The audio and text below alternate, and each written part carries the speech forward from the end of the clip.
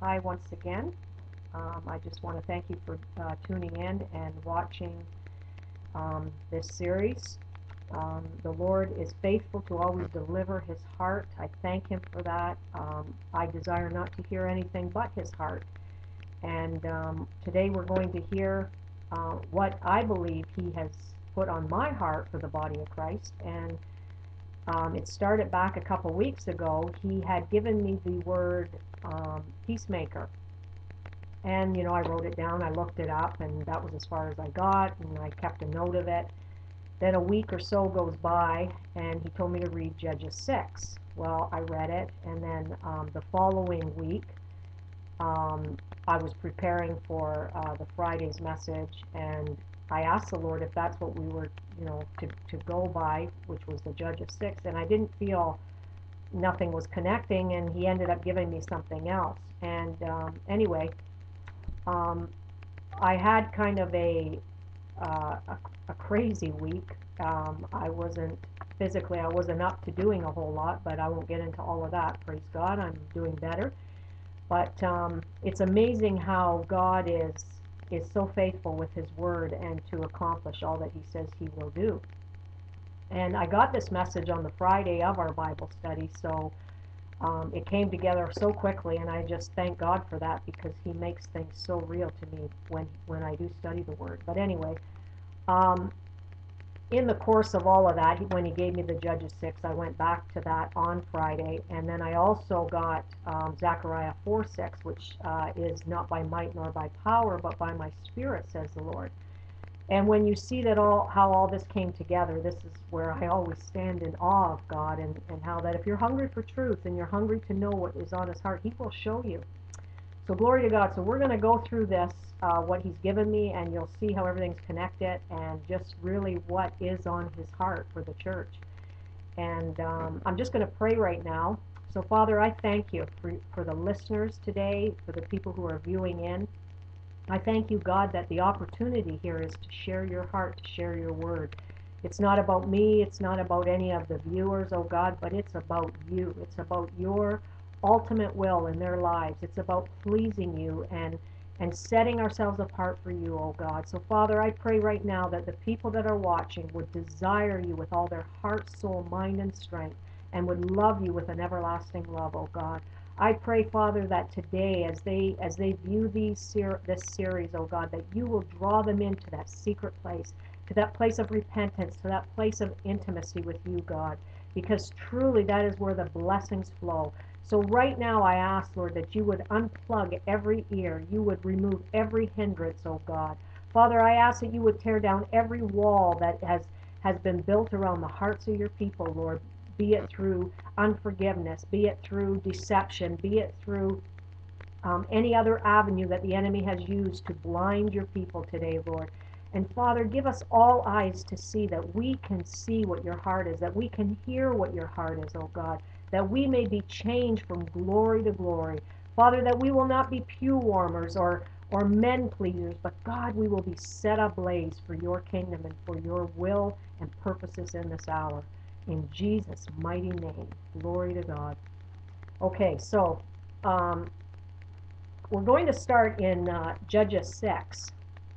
Now, I'm not going to read through the whole chapter. I, I really hope that um, you will read it and you will just see how, how it all fits in. But um, we're going to start in verse 1, and it says, And the children of Israel did evil in the sight of the Lord, and the Lord delivered them into the hand of the Midians for seven years.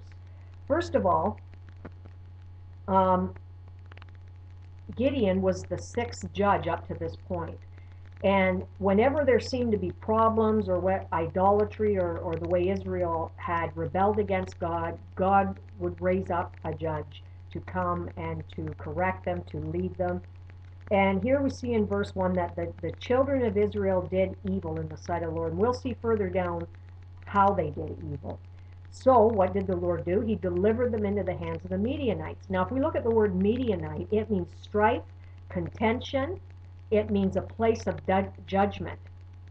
So, here God has given them over to strife and contention. Why? Because they were disobedient. And if and if we as a church are disobedient to the ways of God, um, to do all that he says to do. Just, you know, as I've said in many of my teaching, that the Israelites are um, our example. They are our pattern as to um, how we live and how we conduct ourselves. And, and, you know, we can always draw parallel to their lives to our lives. Okay, so um, why did he give them over to seven years? Well, if you look at seven is the number of completeness. Usually in a in a period of time when you're in a in going through something and you're in a period of time, um, there's a reason behind that. And for I believe for here, seven being the number of completeness, it it meant that it was going to complete something in them. It was going to cause them to maybe see their hearts or to um, uh, see the, the attitudes of their heart or whatever the case may be. Now, because of the Midianites, now again, we're looking at this in the natural. This is the story of the Israelites and of Gideon, and but I want you to see it in the spiritual side of it too. And it says in verse 3, um, actually 2, sorry, it says, And the hand of Midian prevailed against Israel because the Midianites, the children of Israel, because of the Midianites, the children of Israel, made them dens in the mountains, and caves and strongholds. How many people in the body of Christ are hiding in caves and in dens that they've created in their spirit, in their mind, because of strife, contention, and unforgiveness? And this is what has become a stronghold in a lot of people's hearts is this strife and this contention, and it has put them in a place of judgment. Amen. So, uh, so far, I hope you're following with me. Okay, so when when we see in verse three, when we look in verse three, we see um, it says, and so it was when Israel had sown that the Midianites came up, and the Amalekites and the children of the east, even they came up against them. And they encamped against them and destroyed the increase of the earth, till thou come unto Gaza, and left no sustenance for Israel, neither sheep, nor ox, nor ass. Well, Every time Israel sown into the earth, they planted all their their um, wheat and their harvest. The Midianites would come and steal it. Well, what does John 10:10 10, say? Right? It says, "I am the door." Actually, verse 9 starting. "I am the door. By me, if any man enter in, he shall be saved, and shall go in and out and find pasture." John 10:10 10, 10 says, "The thief cometh not but for to steal, to kill, and to destroy. I have come that they might have life and have it more abundantly." Listen to me, church. If you are in strife and contention, you have allowed yourself to be put into a place of judgment, and you have allowed the enemy to come and to steal all that he can steal. Because Jesus is the door. If we go through him as the door, which is love, forgiveness, peace, righteousness, and all all the, the, the positive attributes that go along with um, being obedient to God, um, we will find pasture in God. Amen. But if we allow ourselves to stay in in the strife and the contention, the enemy will come and steal all that we have. Right? He is the one who is the the the cause of strife and contention.